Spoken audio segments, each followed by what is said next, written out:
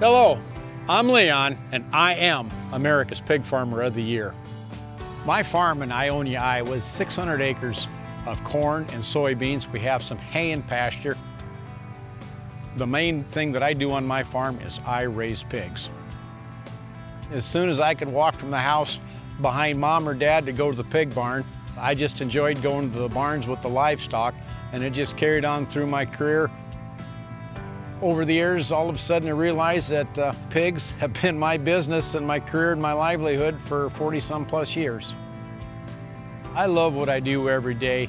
It's just a joy and a passion that I feel being around the animals. We've got new birth, new life coming into the world all the time. You're growing something, you're establishing, you're nurturing something.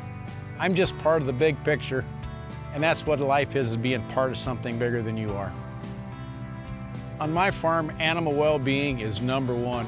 The consumer expects when they step up to the retail counter or the dinner plate is that they're going to get a wholesome, nutritious, safe product consumed that they don't have to have any worries.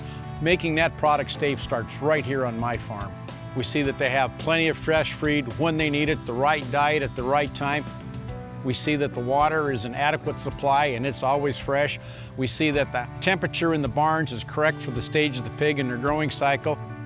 The importance of seeing that the pig is well fed and watered and the temperature's confinement goes a long way to see that we have a safe, healthy pig.